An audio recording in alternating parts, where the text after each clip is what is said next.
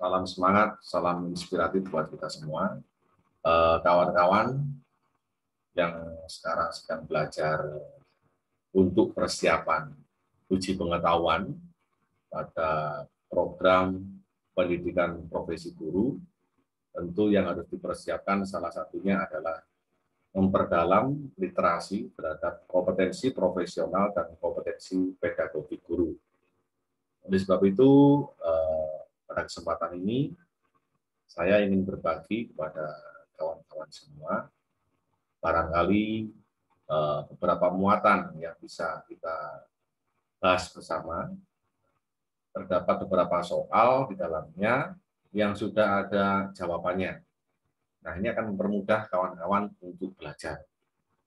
Nah, selanjutnya, simak saja eh, videonya. Ini akan saya coba share screen. Ya, sudah nampak di layar. Yang pertama adalah Ibu pun sangat sadar bahwa dalam pembelajaran abad 21 salah satu karakteristik yang perlu dikuasai adalah critical thinking. Critical thinking berpikir kritis adalah melihat masalah dengan cara baru dan menghubungkan pembelajaran lintas mata pelajaran dan disiplin ilmu. Nah, penerapan yang dilakukan hubungan dalam pembelajaran agar siswa menguasai karakter berpikir kritis antara lain. Nah, siswa mengungkapkan gagasan dalam presentasi, sementara teman kelas mengkritisi apa yang disampaikan. Yang B, Guru menunjukkan empat gambar benda, lalu meminta siswa untuk memilih salah satu gambar dengan karakteristik tertentu dan mengemukakan alasannya sedetail mungkin. Yang C, guru memungkinkan kelompok untuk membuat sebuah poster. Poster yang di sini merupakan hasil pemikiran dari beberapa orang yang dituangkan menjadi satu. Yang D, guru membuat soal latihan yang mendorong anak untuk memecahkan suatu permasalahan atau memecahkan masalah. Dan yang E, siswa mengerjakan soal bertipe box. Nah, kita kembali pada muatan soal. Di sini, garis besarnya ada di critical thinking, berpikir kritis. Dan e, prosesnya yaitu melihat masalah dengan cara baru yang menghubungkan tes mata pembelajaran, tes mata pelajaran dan disiplin.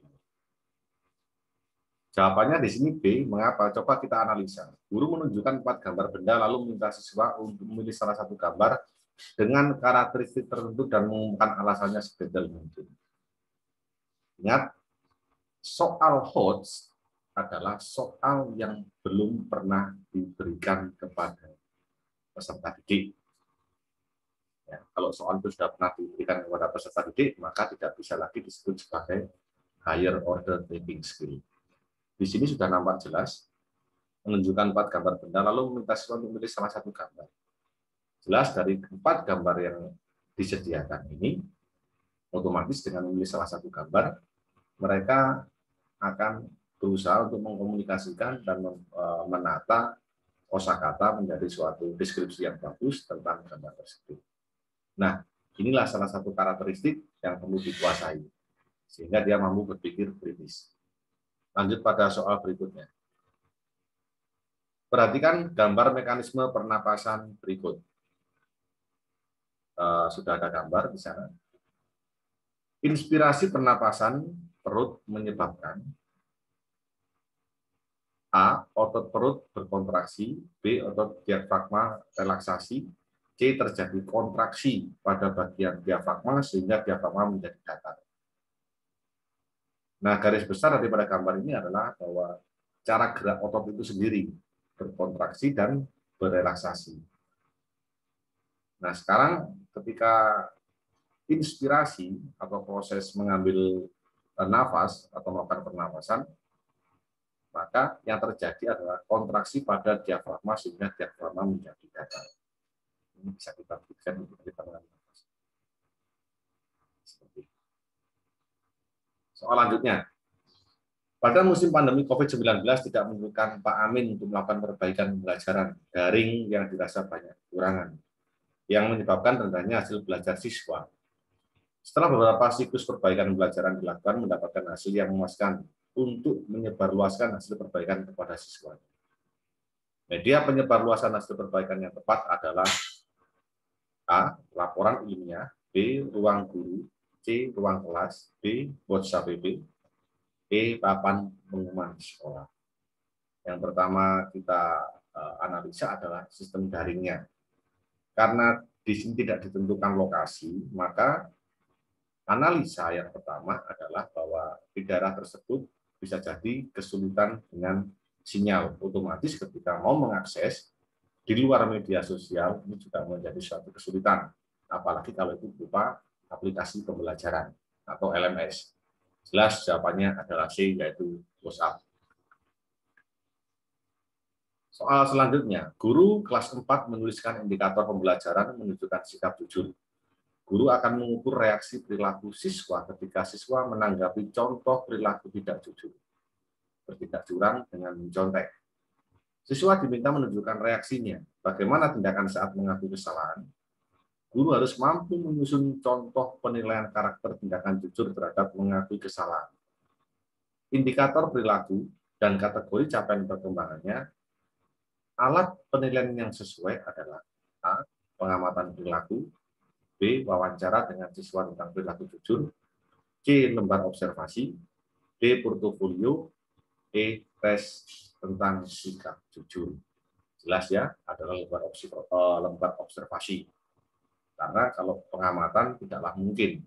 Sedangkan dengan eh, lembar observasi ini akan memberikan ruang kebebasan kepada siswa untuk bisa eh, mengakui suatu kesalahan atau tindakan yang kurang tepat. Sembilan, atau nomor selanjutnya. Ada kalanya guru mendapatkan kritik dari orang tua siswa dalam mendidik putra-putrinya di sekolah. Namun guru harus dapat mengendalikan diri dengan tidak mengedepankan sikap emosional. Hal demikian, tindakan yang semestinya menjadi prioritas guru adalah A memberikan layanan pendidikan sebaik-baiknya sesuai dengan perkembangan dan kebutuhan siswa. B. Meniadakan kegiatan ekstrakurikuler menjelang akhir tahun pelajaran karena menambah beban siswa. Memberikan layanan pendidikan sebaik-baiknya sesuai dengan permintaan dan kesepakatan dengan orang tua. D. Menerima semua masukan untuk segera diterapkan dalam mendidik siswa. Dan yang E adalah memajukan sekolah dengan meningkatkan sarana dan prasarana selengkap-lengkapnya kita analisa soal ini uh, menuntut kita untuk benar-benar cermat ya karena ketika mendapatkan kritik dari orang tua siswa dalam putra putrinya di sekolah kita dituntut untuk kita bisa mengendalikan diri dengan tidak mengedepankan sikap emosional jelas tujuan pendidikan yang pertama adalah memberikan layanan pendidikan sebaik-baiknya sesuai dengan perkembangan dan kebutuhan siswa. Nah, ini sudah jelas. Artinya dengan grade, kelas kecil maupun kelas besar, maka tugas utama sebagai seorang guru adalah memberikan layanan sesuai dengan materi dan kebutuhannya. Soal selanjutnya, dari hasil PTK tentang penggunaan metode inquiry berbantuan media video untuk meningkatkan pembelajaran membacakan puisi, Bu Lasmi ingin menyusun sebuah artikel ilmiah. Komponen bagian isi yang harus ada dalam artikel ilmiah tersebut dalam sebuah jurnal adalah ini uh, tentang penulisan ya, tentang karakteristik penulisan karya ilmiah. Maka pada bagian konten bagian isi bisa kita sajikan pendahuluan bahan dan metode hasil pembahasan dan kesimpulan. Ini jelas. Karena di sini garis besarnya adalah komponen bagian isi, sedangkan bagian abstrak ada di bagian luar jelas tidak mungkin. Bahan dan metode hasil pembahasan kesimpulan daftar pustaka.